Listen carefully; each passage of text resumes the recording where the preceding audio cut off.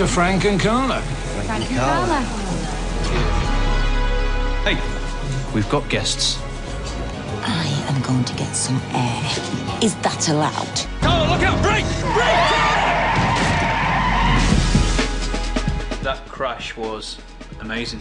What can only be described as cataclysmic Coronation Street, classic Coronation Street moments. It was a thrill to be a part of it. Over there, boy, does she take out that bookies. And Stella.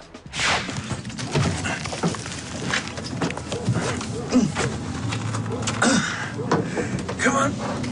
Come on, come on.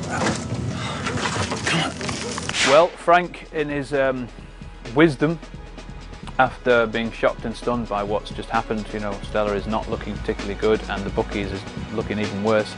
Um, he swaps seats with Carla. He takes the blame, he takes the flak. Saw them breathalyze you, Yeah, it was clear I wasn't drunk. but you did run her over. There's a very distinct possibility that Frank will get into a lot, a lot of trouble for uh, his and Carla's actions, uh, but I don't think he cares. You know, I think he would, I think he'd go down for her. Look at me. This is really important.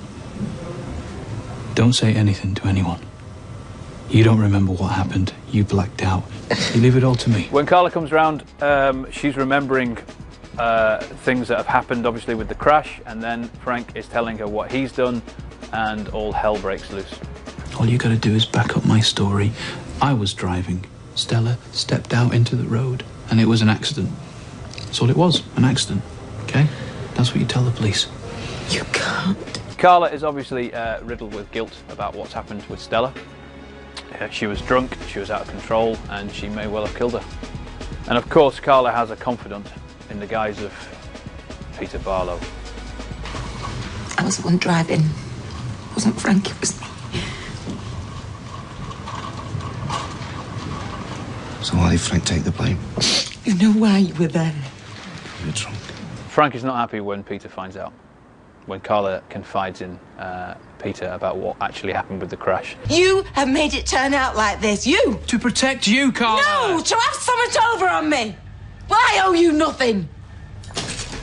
There is going to be a web of lies that is going to spiral out of control, and uh, doors of danger will be opened.